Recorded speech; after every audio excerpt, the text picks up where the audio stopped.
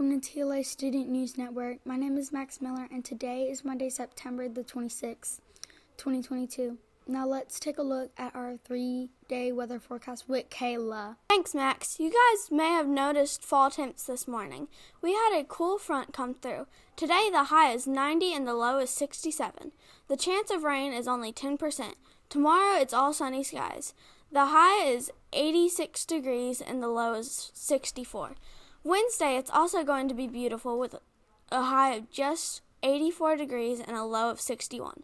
Now back to Max with our lunch choices. Thank you, Kayla. Nothing goes with cooler weather like today's hot lunch choices. They are cheesy chicken over rice, yogurt plate, and cheeseburger. And the sides are potato salad, southern greens, fruit cups, fruit cup pudding, and, and pudding. Antonio is standing by with our joke of the day. Hi guys. What happens when you get a cro- when you cross a snowman and a vampire? You get frostbite. Back to you, Max and Kayla. Oh gosh, Antonio, that was painful.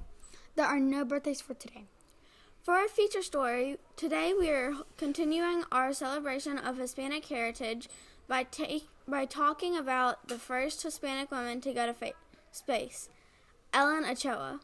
Ellen is an engineer who used her physics and engineering knowledge to study different things ranging from atmosphere changes to space station design.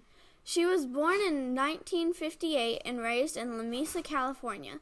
Neither of her parents had college degrees that did her for, for the stars. Her mother valued family and education. She had no college degree. It was Ellen, but when Ellen was a baby, her mother began taking college courses one class at a time. Though it took her 22 years, her mother achieved the goal of earning a college degree.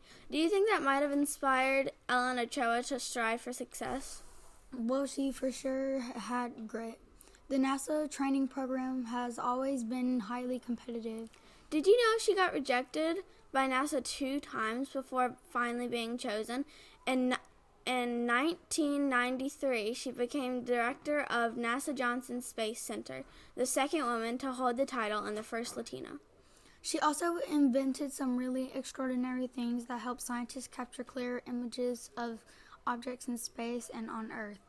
Ellen is beyond a doubt an incredible human being. Be like her and don't let anything hold you back from achieving your goals. Well, TLA, that's all the time we have for today. Thank you for joining us for Student Equert.